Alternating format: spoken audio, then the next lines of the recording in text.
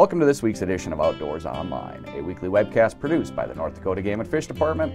I'm your host, Mike Anderson. Today we're going to start our first of a two part series with our fisheries district biologist talking about ice fishing in their districts. My first guest this week is South Central Fisheries Supervisor Paul Bailey. Paul, how are things shaping up in your district?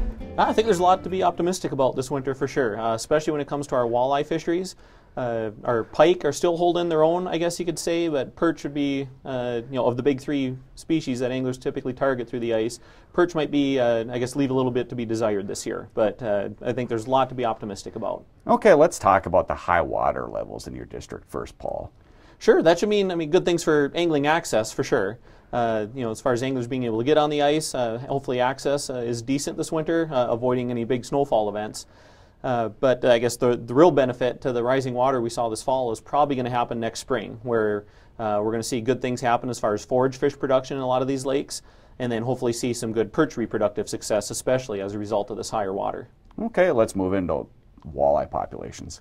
Yeah, that's definitely, I think, going to be the brightest spot. I mean, a lot of the usual suspects out there should uh, uh, provide good opportunity for anglers this winter. Places like Josephine, uh, Alkaline Lake, Dry Lake, you know, that a lot of anglers are very familiar with uh, have some very healthy walleye populations in them right now. But as far as the south central part of the state, we've got literally dozens of, of good walleye fisheries out there. So it'll take a little legwork, I'm sure, for anglers to figure out which ones are, are really going to cooperate with them this winter. But uh, there's very good opportunity out there as far as walleye are concerned. Okay, and northern pike? Uh, I'd say northern pike are more holding their own. Uh, they tend to thrive under those uh, rising water level conditions uh, in the springtime too. Uh, and some of our pike fisheries were definitely more impacted uh, by winter kill last winter than, say, our, a lot of our walleye fisheries were. So there's still good pike opportunity out there. Uh, you know, lakes like Helen, uh, Horsehead, um, uh, West Napoleon, Goose Lake uh, are definitely going to provide some good pike fishing opportunity out there. Okay, you mentioned a little bit about perch. how about your perch panfish populations? Yeah, perch. Uh, we tend to be more boom or bust fisheries in North Dakota, and the South Central District, I guess, has been kind of in the heart of our boom and bust perch fisheries over the last few years. What we typically see is when we get a, these high water events, uh, say like in the after the winter of 96, 97, again in the springs of 2009, 10, and 11, uh, that led to a, a, real boom in our perch fishing. Those rising water levels uh, led to great perch reproductive success. Uh, and then we saw great perch fishing, usually in that four to six year range after those uh, high water events happen. So the last, uh, I guess, great conditions we've had for perch uh, natural reproductive success were the springs of 9, 10, 11. So the boom we just went through is kind of now, kind of unfortunately, in our rearview mirror. Uh, but there's still good opportunity for perch out there. Uh, coming up with a 20 perch limit might be a little more uh, of a tall order. But a lot of the lakes that anglers uh, had good perch success in over the last few years now have lower numbers of perch, but there's still some of those 12 plus inch fish out there. Just temper expectations a little bit. Maybe uh, numbers might not be great, but there's still opportunity for some really nice sized perch out there. Okay, your most popular fishery in the South Central is Lake Oahe. How are things looking at Lake Oahe? Ah, good. One of the one of the neatest things about Lake Oahe is its uh, ability to produce some real trophy size fish out there, uh, both walleye and northern pike. Uh, pike numbers uh, did start to rebound a little bit. Uh, we had uh, very good pike reproductive success again with the, the higher water year, especially 2009 was a an excellent year for pike reproductive success. Uh, pike numbers have dipped a little bit, but we're starting to see a rebound now. So we've still got that nice trophy component to the pike fishery out there, with some of those 20 plus pounders, and then some uh, a diversity of sizes of pike uh, behind them. Uh, walleye, again, there's there's certainly some trophy potential in Lake Oahe, but uh, the meat of the population right now uh, is a lot of these fish in say that 13 to 18 inch range. We had great walleye reproductive success in uh, 2014, 15, and 16. So a lot of those fish now are getting to sizes where anglers are certainly going to be very interested in them. Okay, and how's the how are the crappies doing? Uh, a crappie, I'd say, are a lot like our perch, uh, or Lake Oahe crappie are a lot like our perch across the state. Uh, kind of a boomer bust kind of fishery. I wouldn't say we've busted by any means with the crappie in Lake Oahe. There's there's certainly fishable numbers out there. Uh, but the, the, what led to the great crappie fishing in recent years was this enormously strong 2009 year class when Lake Oahe filled after years of drought, produce some excellent conditions for uh, crappie reproductive success. And that's what anglers have kind of been fishing, uh, targeting these last few years. So their numbers uh, are definitely dwindling. A lot of those fish are in you know, that 10 year old range now. So uh, there's still some of those out there and a few other fish behind it for sure, crappie wise. But uh, the, the absolutely spectacular fishing anglers uh, encountered the last few years might not be quite as good for crappie this winter. Okay, overall in South Central District, things should be okay this winter as long as Mother Nature allows access. Absolutely, that's always one of the keys. A lot of great information, Paul. Thank you. Yeah, thanks. Joining me now is Southeast Fisheries Supervisor BJ Kratz. BJ, how are things shaping up in your district as far as ice conditions? Well, things are freezing over pretty well. We've got some pretty good ice formation on, on most of our lakes right now. Uh, obviously, a lot of water in the country, so uh, we're, we're full in a lot of places that we didn't have that water last fall. Okay, let's move into your fish populations. How are walleyes doing? Walleyes are doing well. You know, our, our stocking program is pretty intense, and we, we try to keep up with the water levels both ways. If the water decreases, we decrease stocking sometimes, and if it increases, we in, increase stocking rates. So uh, overall, the walleye populations are looking really good in the Southeast District, and I say this every year, but uh, probably in the best shape they've ever been if you look at the whole picture. Okay, let's move into northern pike. Well, northern pike in general, we've kind of gotten away from that, as I've mentioned before, because the request is for, for walleyes primarily. But we do have uh, you know some natural reproduction that occurs, and this year was a great year for, for pike in general because we did have uh, ample snow uh, melt this this spring, and it facilitated good pike production in a lot of our waters. Uh, we picked up young of the year pike when we were doing standard adult surveys early on in June, which is a good indicator. So, um, Twin Lake, for example, is a good one. We picked up a lot of young of the year pike in there. We had uh, increased water level there about a foot and a half, and it, it made for good good pike, and that's kind of a popular place amongst uh, pike fishermen. So there's an age class coming on there. Uh, anglers, if they're after pike in general, Lake Ashtabula is a good good lake. There is a good size structure in that lake there's a good chance of catching a, a, trophy too. You know, has the potential to produce some really, really large fish. Okay, you have a lot of perch lakes in your district. We do. Um, you know, perch are kind of the, a, a creature of productivity. So uh, when you have new lakes and, and in short order, they can grow up to be pretty large in size, and anglers can capitalize on them when they kind of deplete their food source. But in general, we've got North Eckelson is a pretty good perch lake. It consistently produces fish. They're not real large, uh, but in terms of, of numbers, um, they're there, you know, about a seven and a half inch average. Moon Lake is another one that's got lots of action. If you want to just go out and catch perch with the kids or something, it's a great place to take take kids. Um, Key Lake, for example, that's a that's got a few bigger perch in it, and still pretty good population. You know, fish over 13 inches and stuff are in there. Uh, another you know popular ice fishing destination for folks for perch is Kraft Slough, uh, which numbers are down a little bit, but there's still some opportunity for perch in that one.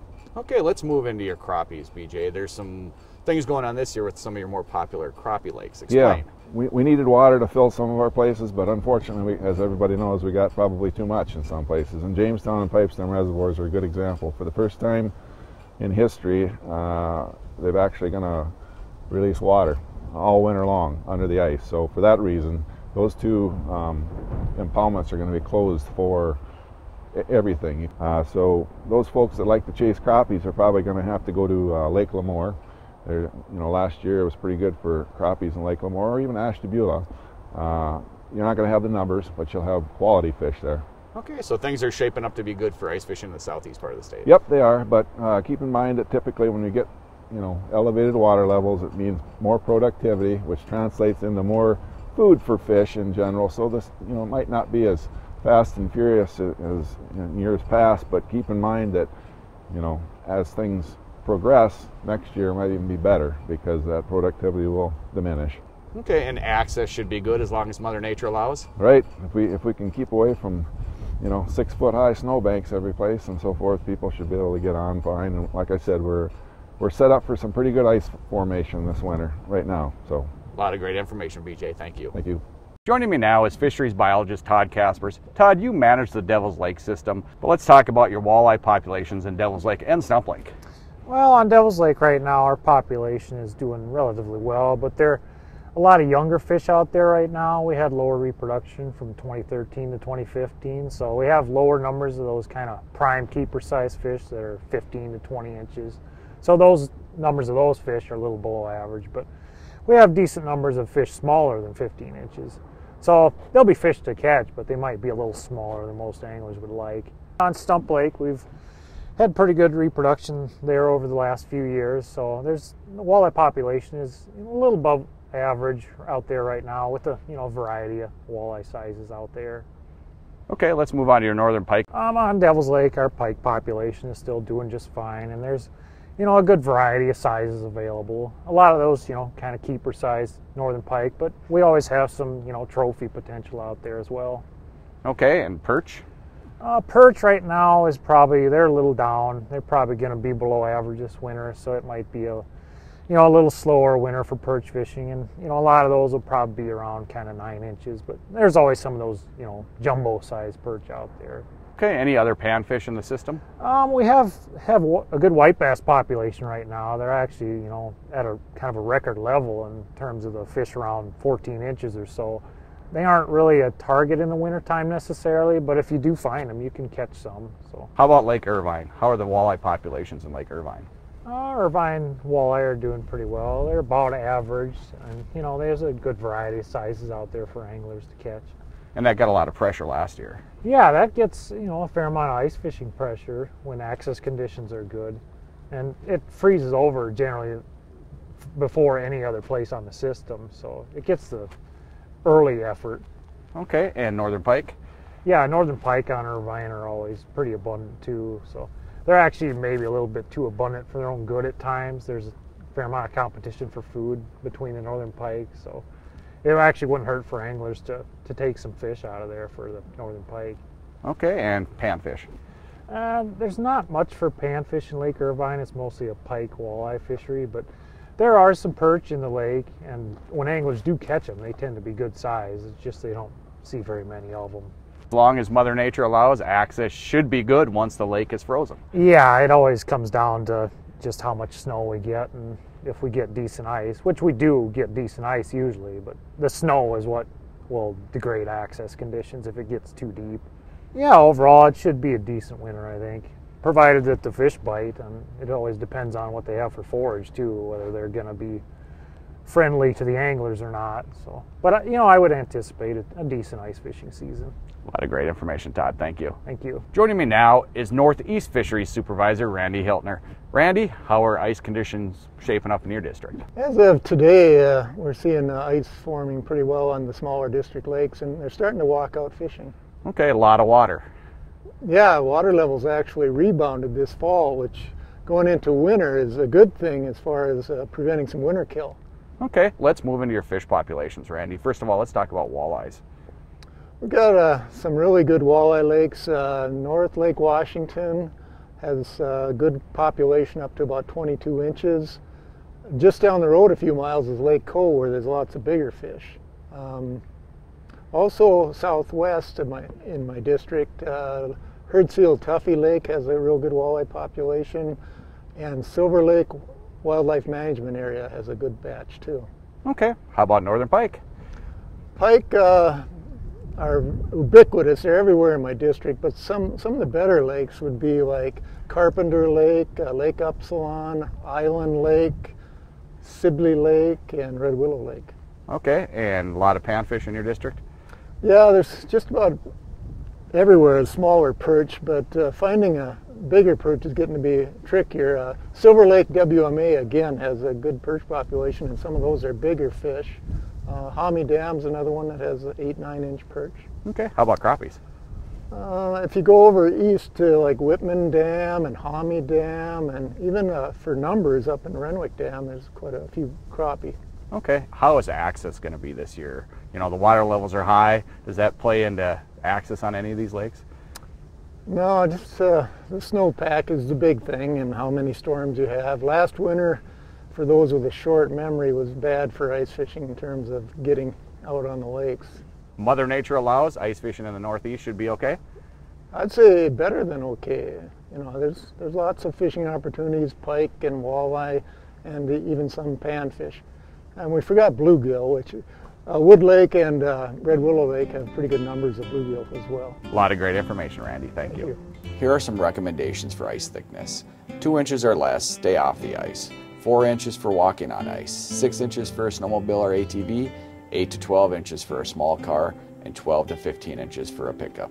And remember, ice is never 100% safe. For the Fisheries Division and the rest of the staff here at the Game and Fish Department, thanks for joining us for this week's Outdoors Online.